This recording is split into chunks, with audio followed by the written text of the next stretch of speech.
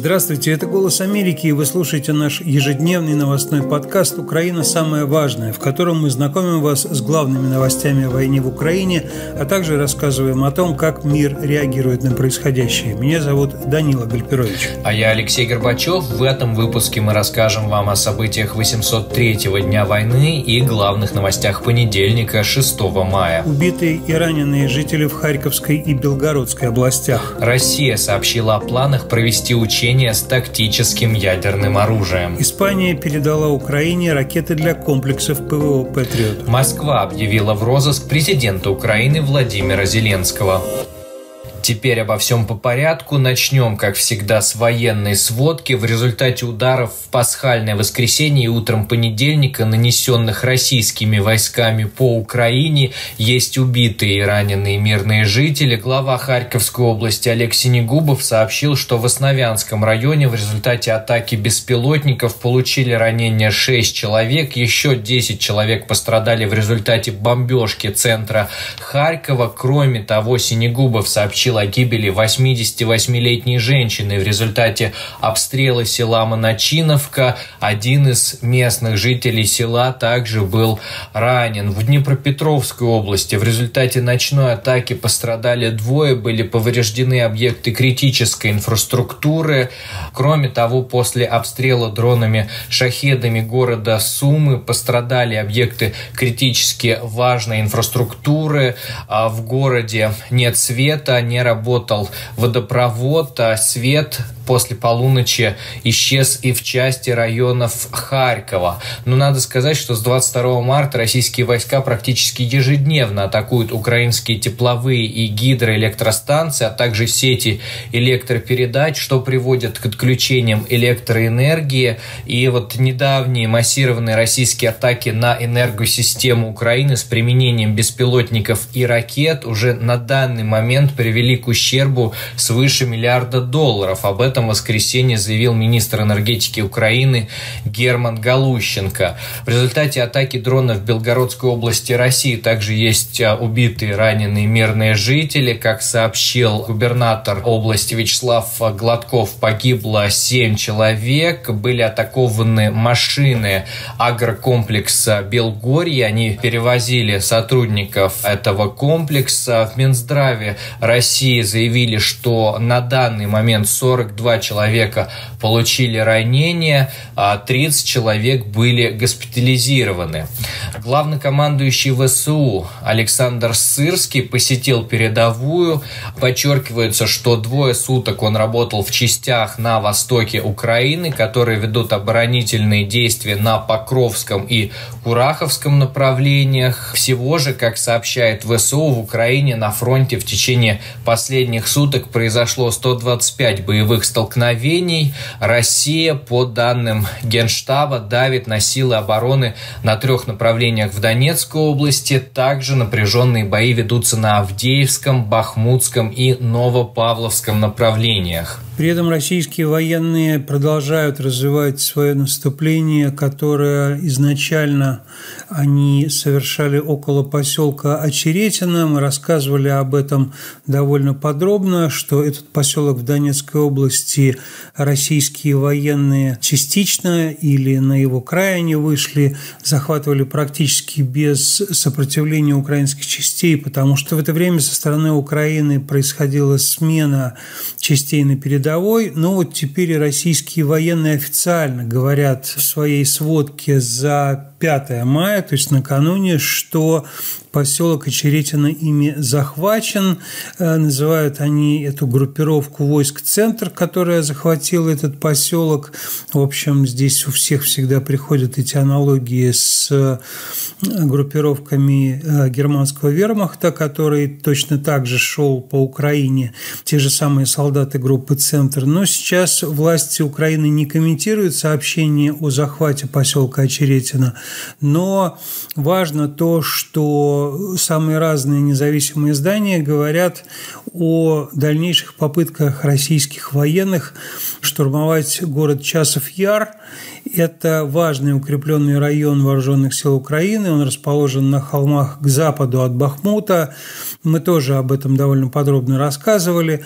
Пока еще в вооруженные силы Украины не поступила в полном объеме та помощь, которую Запад ей решил оказать, в том числе США, приняв большой пакет военной помощи, и Россия пользуется этим, развивая свое наступление. Тем временем Россия продолжает наращивать северную группировку войск, которая может снова атаковать северо-восток Украины, в том числе Харьков. Такие данные приводит Американский институт изучения войны в новой сводке анализа, перевод который приводит BBC. Но аналитики американские по-прежнему считают, что сил для штурма Харькова у России на этом направлении на данный момент нет. Однако активизация атак на Харьков, э, на Сумскую область, также активизация России аэроразведки в этом регионе свидетельствует о том, что вот эта вот северная группировка войск может готовить какие-то операции. И даже несмотря на то, что у России нет достаточных сил на то, чтобы захватить Харьков, ну вот эти вот российские наступательные возможные операции против Харькова или Сум, они, конечно, оттянут украинские части с других важных участков фронта, подчеркивают э, американские аналитики. Тем не менее, высокопоставленные чиновники на Западе не теряют надежды на то, что Киев сможет контратаковать. Правда, может быть, даже не в этом году. И что произойдет до следующего года, непонятно. Но именно о следующем годе говорил 4 мая на мероприятии, организованном газетой Financial Times, советник президента США по национальной безопасности Джейк Салливан. Он сказал, что та военная помощь, которую США сейчас оказывают Украине, и тот пакет, который был принят Конгрессом и подписан президентом в размере 61 миллиарда долларов, позволит провести вооруженным силам Украины новое контрнаступление в 2025 году. Он ожидает сейчас в ближайшее время, Джейк Салливан, российских успехов на поле боя, поскольку, по его словам, нельзя мгновенно щелкнуть выключателем, ну, то есть переключить, так сказать, успех на поражение и так далее. Салливан полагает, что военная поддержка США в настоящее время поможет Киеву держать линию обороны и обеспечить Украине способность выдержать российское наступление в течение этого 2024 года. Ну а в 2025 году, как я уже сказал, по мнению Салливана, украинские войска собираются продвинуться вперед, чтобы отвоевать территорию, которую россияне у них отняли. Ну и любое новое наступление Украины в 2025 году будет зависеть, конечно же, от продолжения финансирования со стороны Вашингтона и союзников Украины в Европе. В этой связи ситуация после выборов э, в ноябре, которые состоятся в США, выглядит неясной, потому что вероятный кандидат республиканской партии на этих выборах Дональд Трамп говорил уже много раз о том, что он не так привержен делу поддержки Украины, как, например, нынешний президент Джо Байден. Главная международная новость дня, касающаяся Украины, это европейская турне лидера КНР Си Цзиньпина. Он уже приехал во Францию, встретился сегодня с президентом Франции Эммануэлем Макроном и главой Еврокомиссии Урсулой фон дер Ляйен. Как передает Радио Свобода, по завершении встречи Си фон дер Ляйен заявила, что, как она надеется, Китай использует свое влияние на Россию, чтобы положить конец войне России против Украины и что он будет продолжать играть важную роль в деле деэскалации ядерных угроз со стороны стороны Кремля. Ожидается, что Макрон также попытается оказать давление на Китай по вопросу о войне России против Украины. Сам Макрон пока ничего не комментировал. Ранее он а, говорил, что рассчитывает на конструктивную роль Китая во взаимодействии с Москвой. Также на встрече главы Китая с европейскими политиками обсуждалось обязательство Китая не поставлять в Россию товары двойного назначения. Ранее ранее СМИ сообщали, что темами переговоров будут как война в Украине, так же и ситуация на Ближнем Востоке, но сам Си Цзиньпин в преддверии этого визита опубликовал в французской газете «Ле Фигаро» статью, где заявил в привычных для Китая выражениях, что Китай надеется, что европейский континент скоро вернется к миру и стабильности, что Китай готов сотрудничать с мировым сообществом, включая Францию, чтобы найти разумный путь разрешения Э, украинского кризиса. При этом Си Цзиньпин подчеркнул, что Китай не является ни источником украинского кризиса, ни его стороной или участником. Однако, как утверждает Си Цзиньпин, КНР сыграла конструктивную роль при поисках э, мирного разрешения этого кризиса. Но и в очередной раз Си привел высказывание о том, что Китай призывает соблюдать цели и основы устава ООН касательно территориальной целостности государств и принимать а, во внимание обоснованные интересы безопасности всех сторон. Ну, надо сказать, что вот эти вот высказывания Китая стандартные и в том числе публично он занимает а, нейтральную позицию в отношении войны, которую Россия ведет в Украине. В то же время, конечно, видно, как потеплели после вторжения России в Украину отношения Китая и Москвы. И, конечно, можно судить в том числе об этом визите и по странам, которые Си посетит в ходе своего европейского турне. После Франции э, глава Китая отправится в Венгрию и Сербию. Тем не менее, очень многие аналитики говорят о том, что какое-то применение ядерного оружия со стороны России будет и для Китая тоже красной линией. Во всяком случае, многие комментаторы в интервью «Голоса Америки» говорили о том, что Китай, скорее всего, не одобрит если Россия что-то такое предпримет. И я напомню, что Китай в свое время вынудил фактически Москву сделать совместное заявление о невозможности применения ядерного оружия. Э, тем не менее, сейчас видно, что Россия очень существенно использует ядерный шантаж в своей постоянной пропаганде и запугивании. И вот сегодня Генштаб Минобороны России по поручению Владимира Путина начал подготовку к учениям в целях повышения готовности нестратегических ядерных сил к выполнению боевых задач. Это, надо сказать, за все постсоветское время первые объявленные учения тактических ядерных сил. Их называют тактическими, не стратегическими. Это все ядерное оружие, которое используется, собственно, в ходе боевых действий, а не, скажем, для межконтинентальных ударов по городам, там, по столицам вероятного противника. В ходе учений Минобороны планирует отработать вопросы подготовки и применения нестратегического ядерного оружия. Ну и учения, как говорится, будут проведены в ближайшее время. В них примут участие ракетные соединения Южного военного округа с привлечением авиации, а также сил военно-морского флота. Я сейчас объясню. Дело в том, что довольно много кораблей, в том числе Черноморского флота, несут ядерное вооружение, причем как стратегическое, так и тактическое. В частности, например, фрегаты вооруженных сил России несут ракеты-торпеды, которые используются против подводных лодок и также имеют ядерный компонент.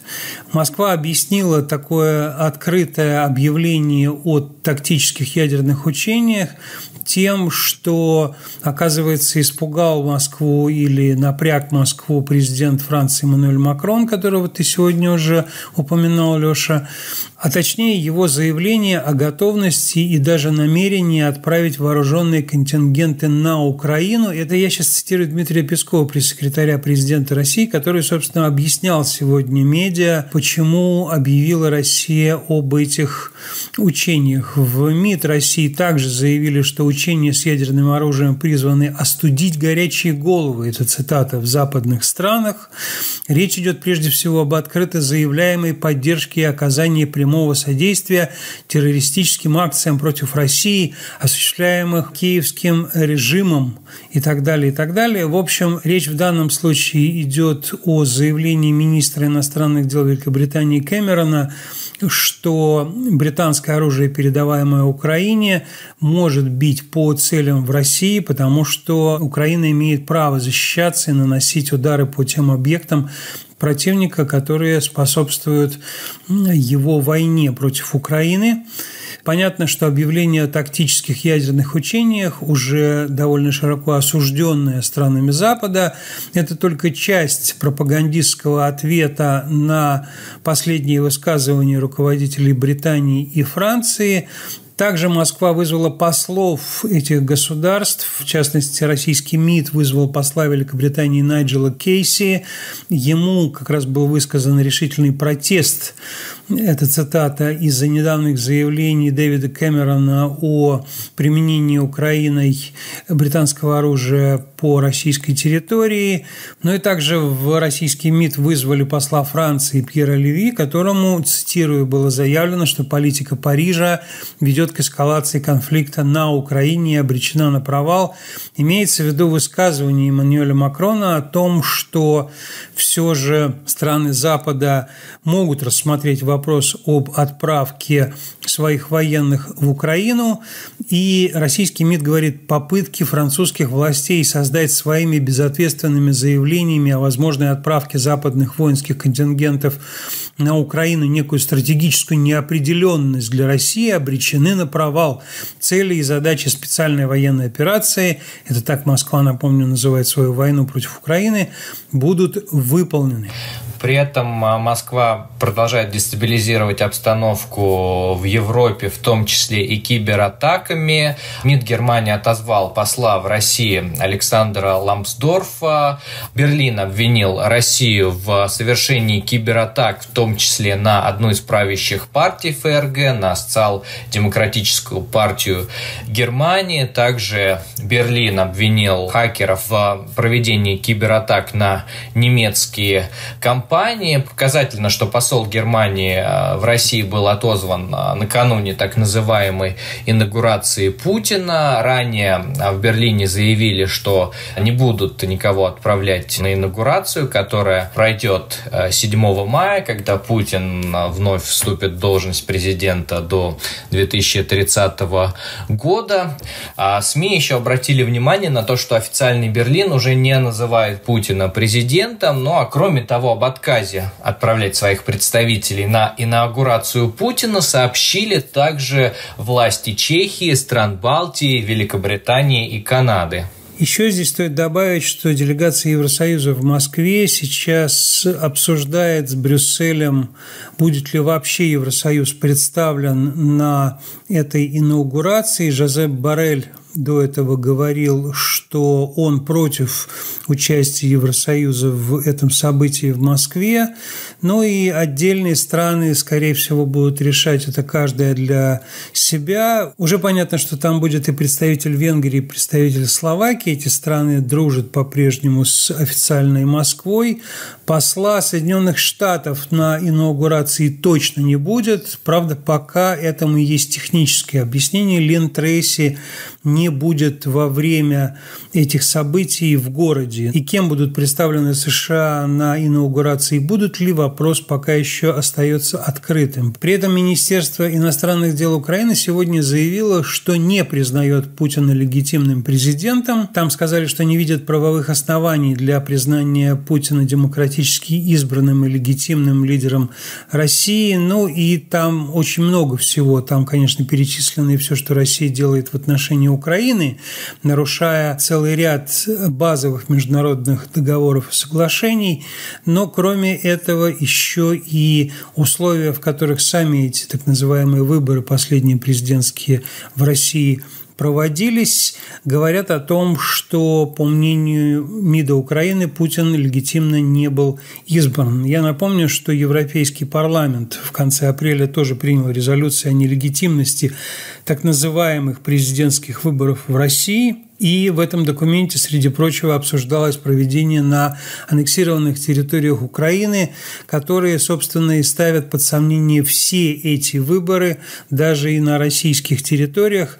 Посмотрим, что будет на самой этой процедуре инаугурации. При этом Кремль хочет явно превратить инаугурацию и последующие два дня, в том числе празднование Дня Победы, официального праздника в России в связи с победой в Великой Отечественной войне, в череду больших празднеств и встреч. Уже известно, кто приедет на парад Победы на Красной площади.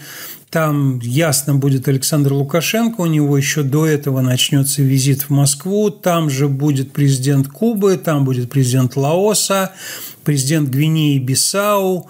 Про все это уже объявлено помощником Путина по международным делам Юрием Ушаковым. Также он сказал, что на параде будут присутствовать лидеры Белоруссии, Казахстана, Киргизии, Таджикистана, Туркменистана и вот уже мною перечисленные Лаос, Куба и Гвинея-Бисау.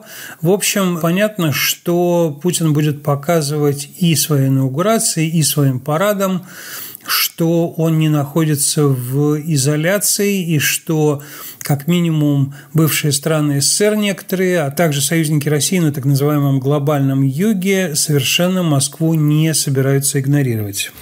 Из Вашингтона на этом фоне звучат голоса как раз-таки о том, что Путин стремится воссоздать СССР. В этом плане интересное интервью лидера демократического меньшинства в Палате представителей Конгресса Хакима Джеффриса. Он дал обширное интервью американскому телеканалу CBS, касающееся Украины. И здесь очень важная часть интервью посвящена тому, что если Украина проиграет, то существует значительная вероятность того, что Америке придется вмешаться в конфликт не только деньгами налогоплательщиков, но и военнослужащими США. Ранее, напомню, Белый дом и администрация президента подчеркивали, что речь о вмешательстве военнослужащих США в войну между Россией и Украиной не идет, однако Джеффрис подчеркивает, что вслед за Украиной Россия будет угрожать другим странам, образовавшимся после распада Советского Союза, которые сейчас входят в НАТО. Он подчеркнул, что Путин не остановился на вторжении в Грузию, он захватил Крым, затем последовало вмешательство а, в Восточную Украину, которое продолжается по сей день. И понятно, что если Запад и США позволят Путину добиться успеха в Украине, то на Украине он не остановится. И, конечно, косвенно в том числе продвижению России, по оценкам Джеффриса, способствовало и то, что Палата представителей и Сенат США не могли утвердить законопроект о помощи военной Украине. Ну и более того, он указал и на пропутинское лобби, как Джеффрис это называет, в республиканской партии США, к одной из наиболее активных а, представителей группы поддержки России в Палате представителей он назвал республиканку Марджори Тейлор Грин. Западные медиа все больше рассуждают о том, где же все-таки для трансатлантических партнеров пролегают красные линии, после пересечения которых России они будут вынуждены вмешаться в ту войну, которую Россия ведет против Украины. И вот итальянская газета «Ла Република» со ссылкой на многочисленные источники пишет о том, что страны НАТО в конфиденциальной форме и без официальных сообщений установили как минимум две красные красные линии, при пересечении которых Североатлантический альянс может напрямую вмешаться в войну в Украине. Первая красная линия будет пересечена, если Россия прорвет линию обороны на северо-западе и к конфликту присоединится третья страна – Беларусь. И вторая красная линия – это возможная военная провокация России против стран Балтии. Это как раз то, о чем предупреждает Хаким Джеффрис, что страны, которые вышли в свое время из СССР и присоединились к НАТО и Евросоюзу, являются возможными первыми жертвами последующих возможных, опять же, действий Москвы. И если российская провокация будет предпринята против Балтии, Польши или, скажем, Россия нападет на Молдову, может идти речь, собственно, о начале прямой вовлеченности стран НАТО в эту войну. В том числе НАТО отреагирует на какой-либо военный удар для проверки реакции Запада, не обязательно вторжение полностью с войсками, если будет предпринята атака с воздуха, ракетами и так далее на эти страны, то, собственно, на это будет НАТО отвечать, но это является обязательством стран НАТО в соответствии с положениями Североатлантической хартии. И при этом Ла Республика подчеркивает, что сейчас у НАТО нет никаких оперативных планов, которые предусматривают отправку войск в зону боевых действий, но, скорее всего, все-таки какое-то последнее время НАТО, может быть, секретно, может быть, как-то не слишком публично, но явно обсуждает, что будет, если Россия нападает на одну из стран Альянса. Ну и довольно серьезные демонстрации того, что Запад все-таки по-прежнему намерен продолжать помогать Украине, стала открывшаяся в Брюсселе сегодня конференция ЕС-Украина по сотрудничеству в оборонной промышленности. Мы о ней рассказывали тоже в нашем подкасте. Там принимает участие и украинская делегация, украинские официальные лица, принимают участие 140 компаний из 25 государств. И я напомню, что уже некоторые компании, в частности Рейнметалл, начали работать с Украиной для того, чтобы совместно производить боеприпасы. Ну а в нашей постоянной рубрике «Кого, где, за что» сегодня скорее курьезное сообщение, потому что в выходные стало известно о том, что МВД России объявило в розыск президента Украины Владимира Зеленского – Кремле это адекватно как-то прокомментировать и обосновать не смогли. Они сказали, что это стало результатом работы следователей. Как давно Зеленский находится в базе розыска, неизвестно. Это просто а, российское агентство РИА Новости нашло его там. Кроме того, там еще есть э, бывший президент Украины Петр Порошенко. Ну, а после них МВД внесло в э, базу разыскиваемых практически поголовно прошлое руководство Украины, бывшего премьер-министра Владимира Гройсмана, бывшего министра информационной политики Юрия Стыця и так далее. В общем, там есть целый ряд украинских чиновников. Кремль при этом, объясняя все это, не устает повторять мантру о преступлениях киевского режима, не говоря о том, что это все-таки была легитимная украинская власть. На этом мы заканчиваем сегодняшний выпуск нашего подкаста «Украина. Самое важное». Его для вас провели Алексей Горбачев и Данила Гальперович. Также над выпуском работал звукорежиссер Александр Зимуха. Пожалуйста, слушайте наш подкаст на платформах Apple и Google, на канале Эхо, и можно там, где это возможно, напрямую с сайта. Большое вам спасибо за внимание. До встречи завтра.